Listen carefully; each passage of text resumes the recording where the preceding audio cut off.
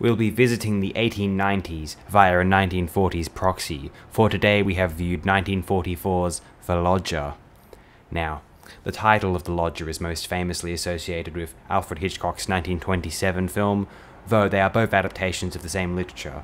Marie Belloc Lowndes' The Lodger, a short story in 1911, later expanded to novel in 1913. This is a Jack the Ripper yarn. The mysterious Mr. Slade takes up residence at a London lodge. The landlords, Robert and Ellen Bonting, begin to suspect that Mr. Slade is, in fact, the loose Whitechapel murderer. George Sanders portrays a smartly suspicious detective communicating with the Bontings regarding their concern. Meanwhile, fellow lodger Kitty Langley strikes up a rapport with Mr. Slade, which winds up predictably dangerous. Yes, this film is predictable, but I found it quite satisfying overall. It features solid cinematography, with some rather outstanding lighting that, well, mostly, effectively disguise the sets.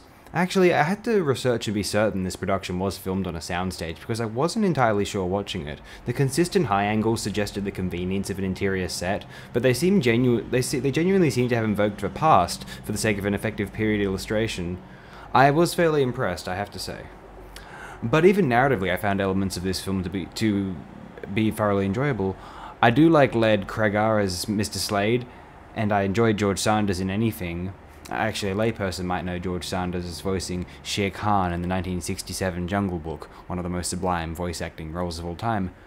But most of all, I enjoyed the Bonting couple. I quite enjoy a husband and wife lead character dynamic in a non romantic context, and there are not an enormous number of examples which spring to my mind. Hitchcock's The Man Who Knew Too Much, the 1955 film, and Basil Dearden's The Smallest Show on Earth were the most prominent in my brief brainstorm there.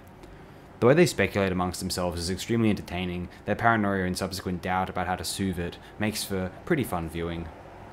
Now, if I had to compare this film to with Alfred Hitchcock's The Lodger, I would traditionally have to go with Hitchcock's, although I won't assume that certainty for the sake of the record here. I'd prefer to rely on a fresher memory, uh, confident I may be in its apparent superiority.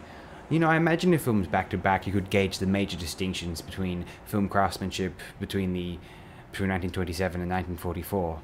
I mean, besides the obvious distinct- distinctions. The director of this film was one John Brahm. The only other work of his I am seemingly familiar with, aside from certain episodes of the Alfred Hitchcock Alfred Hitchcock shows, funnily enough, which I may have viewed, is is 1952's The Miracle of Our Lady of Fatima. Now, I could go on about my great fondness for that particular picture, but I'd prefer to keep the limelight on The Lodger. So all in all, I find 1944's The Lodger a fun Victorian era cavort. If it sounds like fun to you, give it a spin.